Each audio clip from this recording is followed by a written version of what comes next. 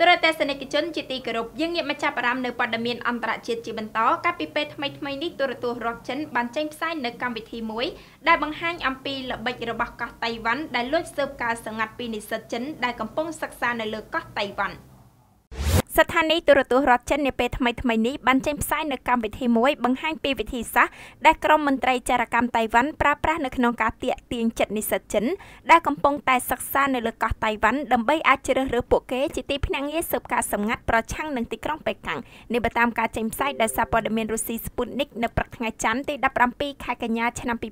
2017សារព័ត៌មាន Sputnik ដោយផ្អែកលើការចុះផ្សាយរបស់សារព័ត៌មានអង់គ្លេស The Guardian បានបញ្ជាក់ទៀតថា ទីភ្នាក់ងារចារកម្មតៃវ៉ាន់បានប្រើប្រាស់វិធីតាក់ទាញចិត្តនិស្សិតចិនជាមួយនឹងការផ្ដល់លុយកាក់ស្នេហានិងមិត្តភាពជាដើមលើពីនេះទៅទៀតអាញាធរចិនក៏បានចាប់ប្រកាន់កោះតៃវ៉ាន់ផងដែរថាកំពុងប្រឹងប្រែងលួចព័ត៌មានសម្ងាត់របស់ចិនក្នុងគោលបំណងបង្កចលាចលនិងគម្រាមកំហែងរដ្ឋាភិបាលទីក្រុងប៉េកាំងគួរជម្រាបថាកាលពីថ្ងៃទី17អាញាធរតៃវ៉ាន់ធ្លាប់បានកាត់ទោសនិស្សិតចិនម្នាក់ដាក់ពន្ធនាគារពីការបង្កើតបណ្ដាញចារកម្មនៅលើកោះតៃវ៉ាន់និងប្រើប្រាស់ទំនាក់ទំនងរបស់ខ្លួននៅក្នុងសាលារៀននិងស្ថាប័នមួយចំនួនរបស់រដ្ឋាភិបាលតៃវ៉ាន់ដើម្បីប្រមូលព័ត៌មានសម្ងាត់តែយ៉ាងណាក៏ដោយនិស្សិតចិននៅតែត្រូវបានអនុញ្ញាតឲ្យបន្តការសិក្សានៅលើកោះតៃវ៉ាន់ដដែលចាប់តាំងពីឆ្នាំ2009មកម្លេះ។